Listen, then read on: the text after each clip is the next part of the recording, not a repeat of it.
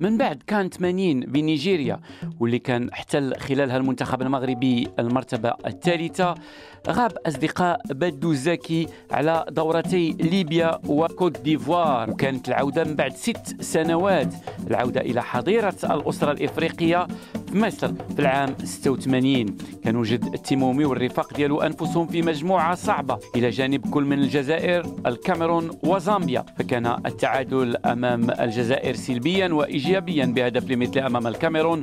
وفوز صعب على زامبيا منح المغرب تأشيرة التأهل للدور النصف النهائي ومنازلة منتخب الفراعنة المضيف التحدي كان كبير.